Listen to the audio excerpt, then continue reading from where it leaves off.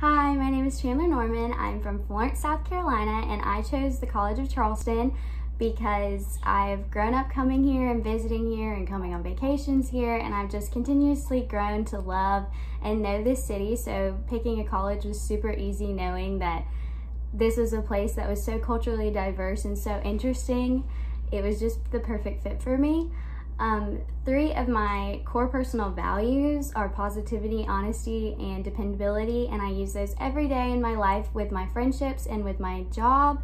I'm a full-time nanny, so I have to be dependable for that family, and I always want to be dependable for my friends. Like, I'm always the friend who is just a call away, and I hope I can bring that into Greek life by being that sister who is just always there for everyone and for anyone who needs it.